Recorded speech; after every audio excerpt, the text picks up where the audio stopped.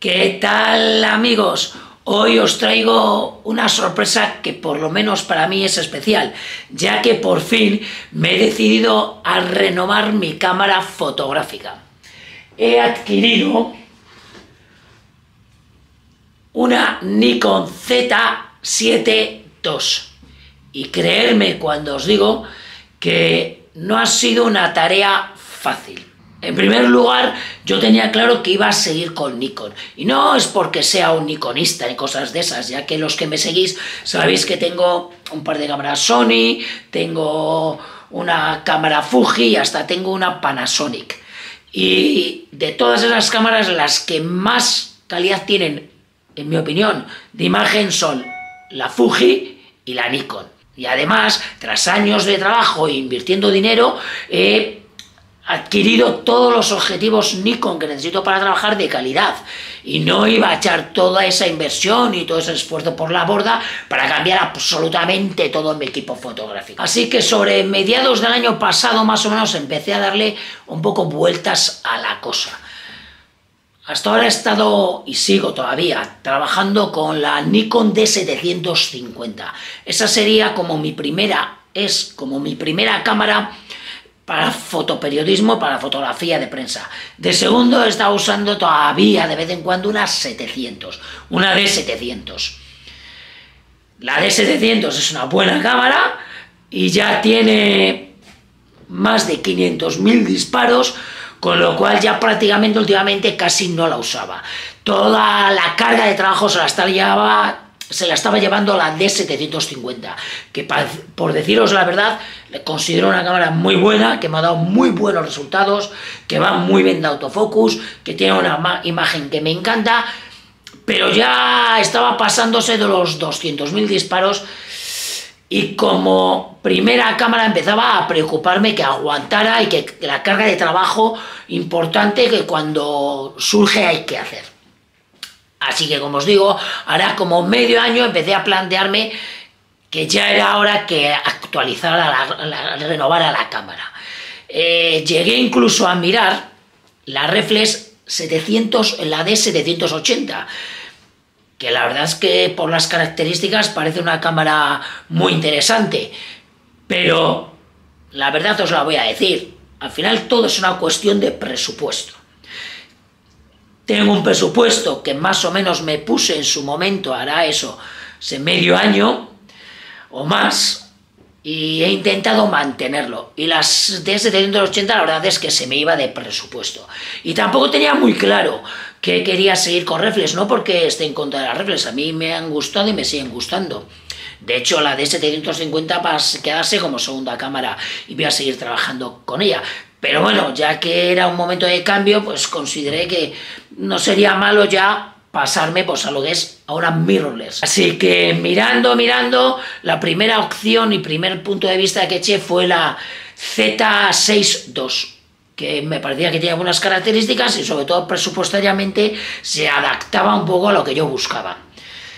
Pero claro, quería también un poco esperar a ver cómo evolucionaba el mercado, qué cosas nuevas, que todo el mundo decía que Nikon iba a sacar cosas nuevas y qué cosas nuevas sacaba Nikon y si eso bajaba el precio o me interesaba ya pasarme a lo nuevo porque iba a ser más actualizada.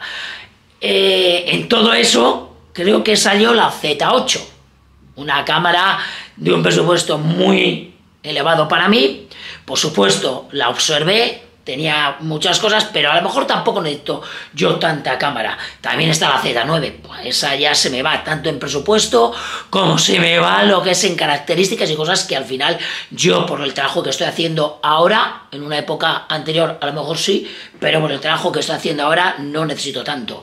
Y la Z8 pues me pasa un poco más de lo mismo. Eh, así que en su momento observé la Z7 II y la Z6 II Evidentemente, esta Z72 me interesaba más por las características que tenía, pero se me iba también de presupuesto. Como os he dicho, todo es una cuestión de presupuesto. Así que esperando, esperando, que me estoy embarullando yo solo y no llego a donde quiero llegar, eh, repito que esperando, esperando, apareció la ZF. La ZF a secas, la full frame, no la ZFC, la ZF. Y la verdad que es que era una cama que por presupuesto se ajusta a lo que yo buscaba, con características modernas, que está muy bien, una cámara muy chula, como todos sabéis es una cámara más estilo vintage, pero que a lo mejor, para, aunque para el 90%, 80% de las fotos de prensa me iba a ir genial, no tengo muy claro ni tenía muy claro si para un tipo de fotos que hago muy a menudo y que es el motivo de este vídeo, eh, me podía llegar realmente a convencer. Y además, tenía una cosa que mm, me frenaba un poquito, que tenía el mismo sensor de la Z6 II.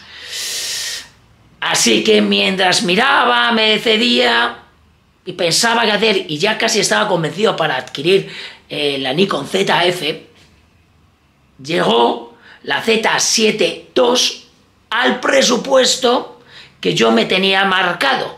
Y ese es el motivo por el cual he adquirido esta cámara y no la otra. Se ha ajustado a mi presupuesto. También es verdad que es una cámara que en mi opinión se ajusta más al trabajo de prensa, es una cámara que tiene más puntos de enfoque, es una cámara que tiene mucha más resolución y aunque la mayor parte de las veces para el trabajo de prensa 45 megapíxeles me van sobrados y no voy a trabajar con 45 megapíxeles, probablemente la mayor parte de las veces trabaje con 24, sí que hay momentos puntuales como por ejemplo un partido de Champion o trabajos diferentes que me pueden solicitar que sí me puede interesar esos 45 megapíxeles. Pero también tenía dudas sobre esta cámara, porque es verdad que me encontrabas ante una cámara que ya tenía cuatro años. O sea, es una cámara cuya tecnología estaba de cuatro años. También repito que la Nikon ZF, si tiene el mismo sensor que la Z6, tiene un sensor también de cuatro años. Pero eso me echaba un poco para atrás mis dudas sobre si realmente el software iba a estar a la altura de estos momentos y hubiera y no me fuera otra vez un poco empantanar en una cámara con unos autofocus ligeramente desfasados.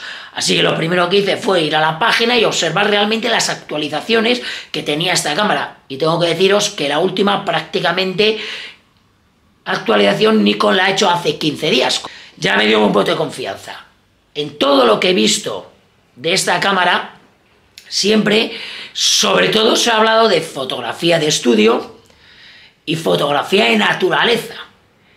Y vale, está muy bien, pero repito que uno de los motivos principales por lo que yo tenía dudas de la ZF era por un 20 o 30% de esos trabajos que hago, que no son más que fotografía deportiva.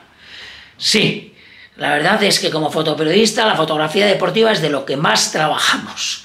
A lo que iba, no he visto nada a ese respecto en los tutoriales que he visto.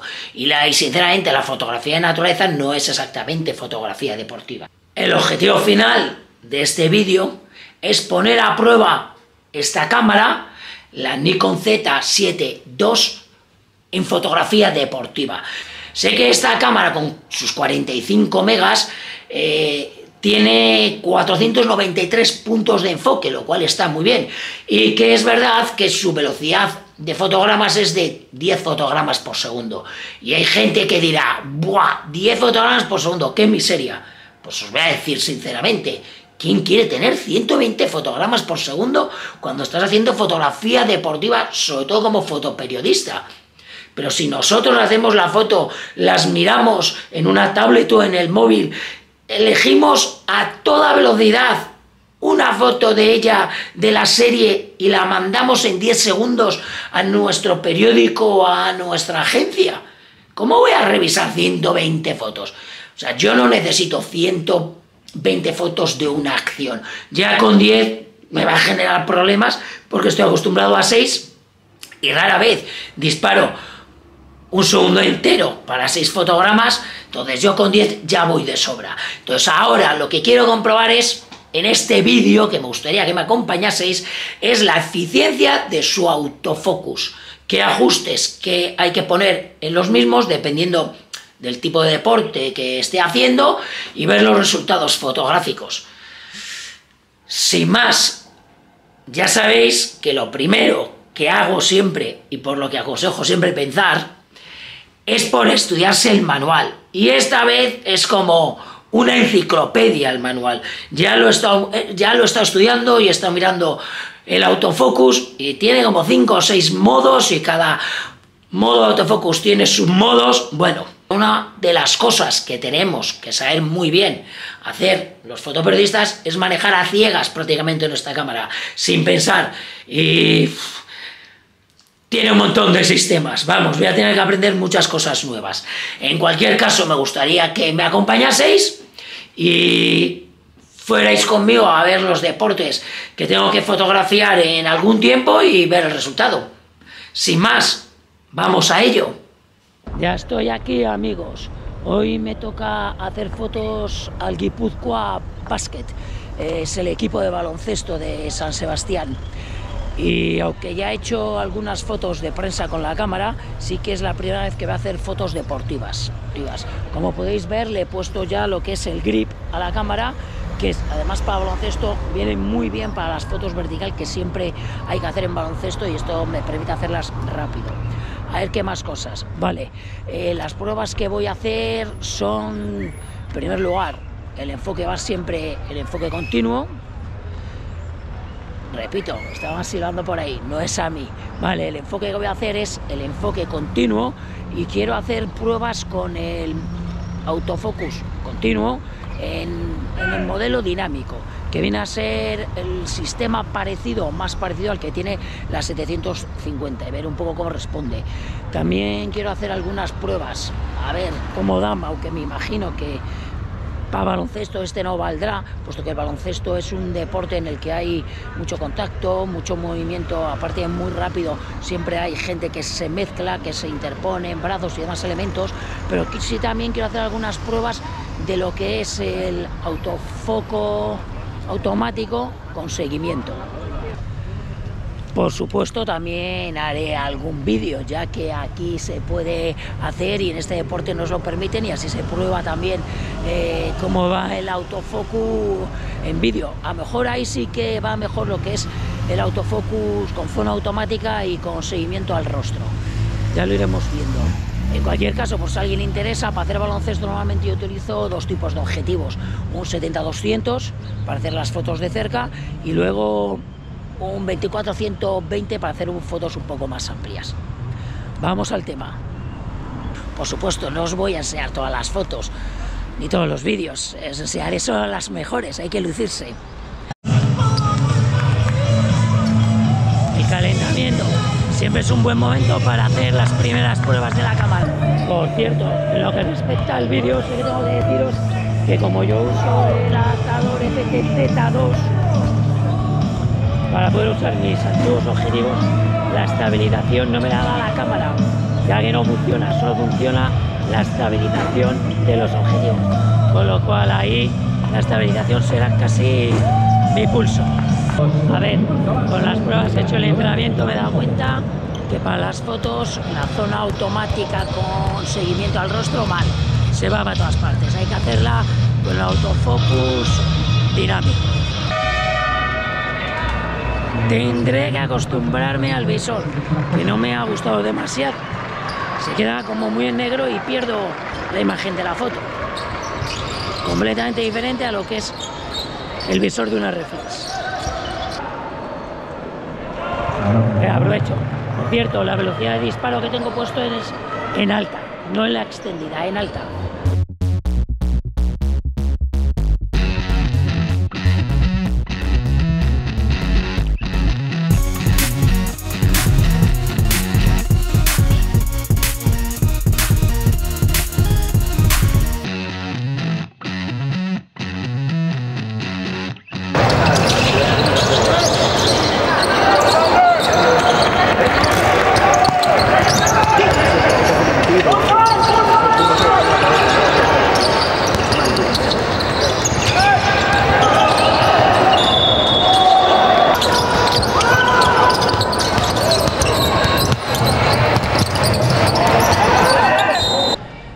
Acabar lo que tengo que hacer es pedir perdón por los vídeos que he hecho. ¿eh? Está claro que el vídeo no es lo mío.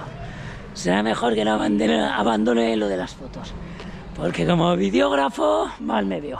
Bueno, en cualquier caso se me ha olvidado decir que estoy trabajando todo el rato con el obturador mecánico, por supuesto. Y lo demás, bueno, pues está bien, oye, el autofocus, bien, en general. Lo que más he notado es que me tengo que hacer a la cámara, el visor es diferente, el electrónico, a una reflex y me tengo que hacer a la cámara. En la segunda parte del partido ya me he encontrado un poco mejor con ella, así que según vaya trabajando más, pues más cómodo me encontraré con ella. Hoy me ha tocado balonmano femenino, el Vera Vera de balonmano, uno de los mejores, si no el mejor club de balonmano femenino de España. Balonmano tiene algunas características similares en cuanto a la hora de hacer fotos que con el baloncesto, puesto que ambos son deportes muy dinámicos, con acciones muy rápidas, en las cuales siempre se cruzan personas, brazos y elementos que hacen difícil el enfoque. Eh, voy a seguir con el autofocus dinámico, que al fin y al cabo es el que ya tengo controlado, pero también quiero probar lo que es el autofocus panorámico grande con eh, prioridad al rostro. Por si acaso, recordar que sigo con el autofocus continuo. Voy a subir un poco la ráfaga de enfoque a 5 fotogramas, con la velocidad de fotogramas a 5 fotogramas y el punto de enfoque cuando use el panorámico con prioridad al, al rostro, lo voy a subir ligeramente para que se fije en el rostro.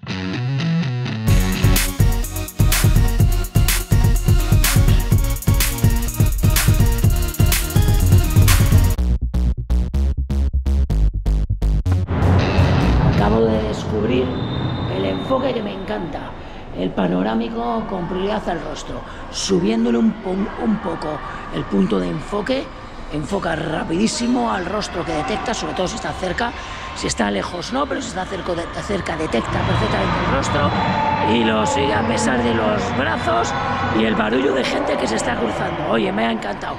De hecho, he terminado todas las fotos con ese tipo de enfoque. Y ahora, a otra cosa, no hay prisa. Otro fantástico día de agua en Euskadi. Bueno, ahora me toca hacer la llegada de un cross de montaña. Y sí que tengo claro dos cosas. Una, que para deporte es mejor trabajar solo con el visor y quitar lo que es la pantalla, salvo en momentos puntuales, que vea que la voy a necesitar porque eh, ese parpadeo que hace, ese efecto que hace cada vez que quitas el ojo y se enciende y se apaga el visor, cuando vas a hacer deporte, que la acción es muy rápida, pues ahí pierdes unas milésimas, pierdes la visión y, y me descontrola. O sea, me pierdo dónde está la acción o dónde está el tema que tengo que fotografiar. Así que me voy a quedar solo con el visor y voy a apagar solo la pantalla, eso en la configuración de la cámara. Y segundo, también me he dado cuenta que dependiendo del trabajo que vayas a hacer hay que cambiar la configuración de autofocus. Eh, por ejemplo, para pelotones no te tengo claro si es mucha gente, un pelotón que está viniendo y quiero hacer una foto arriba, lo de eh, seguimiento panorámico con prioridad al rostro, pues no hace más que embarullar. Prefiero hacer el clásico enfoque autofocus con dinámico. Pero bueno, a ver cómo es la llegada y con qué me encuentro. Aquí la idea es que tengo que hacer una foto angular cuando entre el ganador con todo este espacio, es lo que me ha pedido el periódico. Así que voy a usar el autofocus zona automática con enfoque al rostro. Espero no pifiarla, porque aquí solo hay una oportunidad.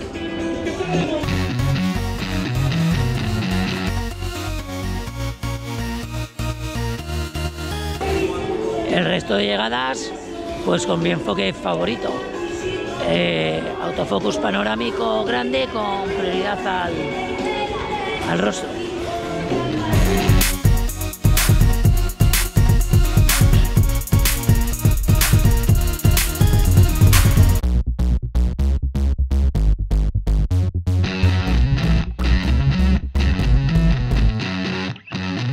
Al final he pasado de la zona automática, del autofocus en zona automática, y he vuelto al autofocus panorámico con detección de rostro, poniéndolo un poco bajo porque estaba sacando un contrapicado, el punto de enfoque y mejor, más seguro. La zona automática, yo qué sé, que elija él donde le da gana no me mola mucho. Ahora otra cosa.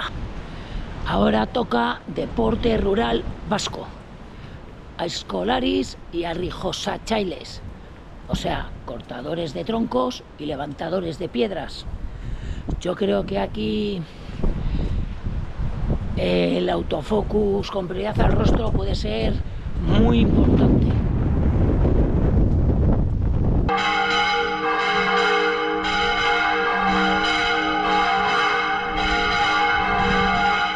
Campanadas de misa.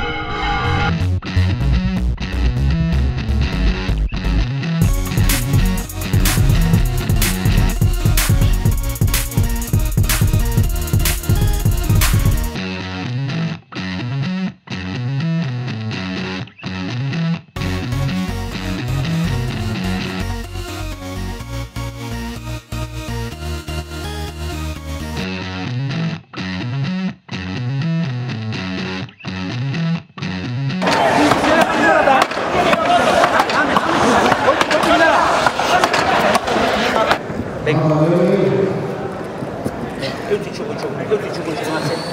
O soldo. Hadi. Hoş buçuk, hoş buçuk, hadi buçuk buçuk. Peki kaç tane? Çok buçuk maçı, çok Hadi. Ondan. Evet, bravo.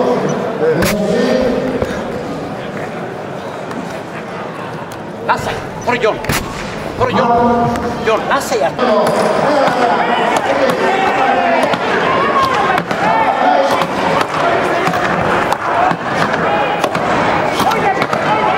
Eh, el autofocus en seguimiento al rostro en general bien.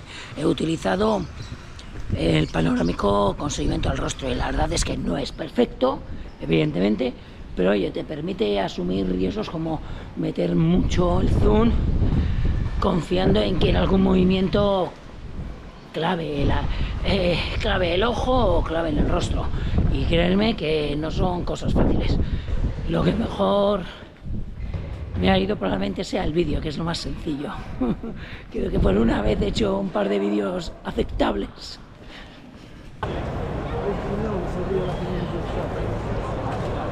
Barullo, ¿eh? Hoy hay partido, Deporte Nacional de España. Bueno, hoy tengo que cubrir la semifinal de la Copa del Rey entre la Real Sociedad de Fútbol y el Mallorca. Partido intenso. Buen momento para poner a prueba la cámara y probar todo lo que he practicado estos días. En principio, mi idea es trabajar con autofocus panorámico con seguimiento al rostro, principalmente, y luego probar también el dinámico, a lo mejor en los cornes o algo así. Pero, bueno, a ver qué sucede con el partido, la cámara y las fotos.